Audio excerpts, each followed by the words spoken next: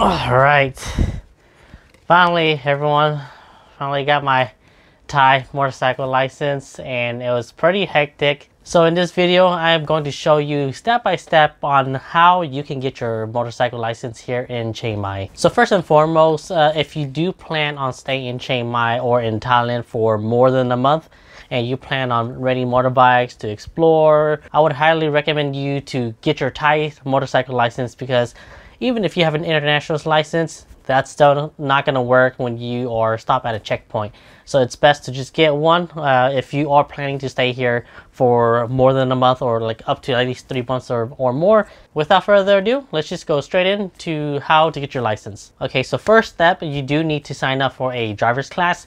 So for me, I signed up with uh, Chiang Mai's driving school. I'll go ahead and put their website and the location in the description below if you guys are interested in taking that class. So sign up for a driver's class and once you do that, they'll go ahead and tell you what you need to bring, which is health certificate. So basically go to any hospital, just let them know that, oh, you're here to get a medical certificate for a Thai license and then they'll know what to do. It's just a, a basic health checkup. They check to see if, if you have any health problems. After that, pay the 100 baht for the medical certificate. Next, you do need a residence certificate, uh, which shows that you are living in Thailand. For this residence certificate, you do need to go to the Chiang Mai immigration office. Before you go to uh, complete your residence certificate, you do need to bring a copy of your your passport, a copy of your departure card, your latest um, visa stamp and I believe you also need a copy of your TM30. So once you get all these copies, go ahead and go to the Chiang Mai immigration office. On the second floor, you're gonna sign an application. I believe it's a 40 baht if you want to wait three to four weeks for your residence certificate, but they do have an expedite service where you can get your residence certificate in about a day or two. Oh, don't forget you also need a, passport photo. So like I said, pay the uh, 500 baht and then they'll tell you when to come back and pick it up. So the driving course consists of a two full days. So I took mine on Saturday and Sunday. It was always from 8 to 5. Uh, so first day, so the first four hours is mainly watching videos. You'll have an hour lunch. Once you get back, they'll go ahead and toss you back onto the computer to do some practice tests. These practice tests, I would say it's helpful in some ways and it's not helpful in some ways because once you submit that practice test, it doesn't show you what questions you got wrong. It doesn't give you the answers until it comes to the actual written test. I would say the practice test is good for you to kind of have an idea of what's on the written test because I tell you at least about 80% of those questions will be on the written test. Also before you start taking your written test, I would highly recommend you just Google search Thai license test uh, most of those questions are like old, which is probably back in like 2019, 2020. Like most of those questions are actually the same that you'll be taking. If you're able to get yourself familiar with the questions and know the answers to it, it'll be a big help for you when it comes to the written test. So next off, second day, basically the whole morning from 8 to 11 or 8 to 12, you'll basically get your motorbike and then drive in a group around the whole parking lot area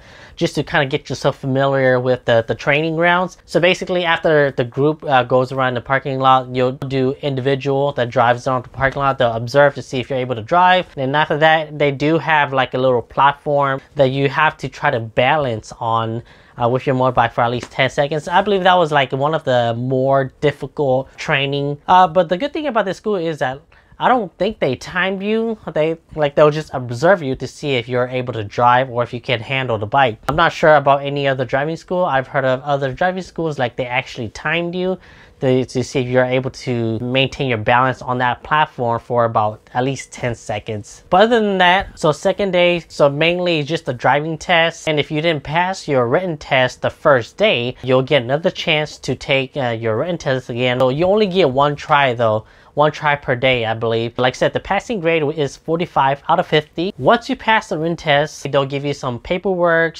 and then they'll tell you, okay, you need to go to the Department of Land Transportation in Chiang Mai. So this is where you're gonna turn in the documents that uh, you were given from the Chiang Mai school or any driving school that you sign up for. I'm not sure if you have to make an appointment or if you can just walk in. But for me, right after I passed that test, I went straight to the Department of Land Transport. I tried to turn in my documents, but then they told me, okay, I need to come back in two days at 9 a.m. So basically, I had to set an appointment, so I couldn't get my driver's license. But yeah, so once you're able to turn in your documents, they'll call you up. They'll say, okay, sign, go to this window, go ahead and pay the fee.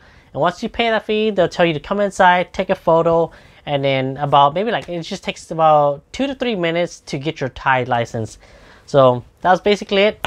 I got my Thai license and now it's like I don't have to worry about checkpoints. I'll go ahead and just put the total of how much I spent right here on the bottom right corner of the video and hopefully you have an idea of how much you'll be spending for a class and how to get your Thai license. But there you have it. That's a step-by-step -step guide of how you can get a motorcycle license in Chiang Mai in year 2022. And if you have any questions or any concerns, go ahead and just leave a comment down below. Well, and then I'll try to my best to get back to you. Thanks for watching. We'll see you guys in the next video.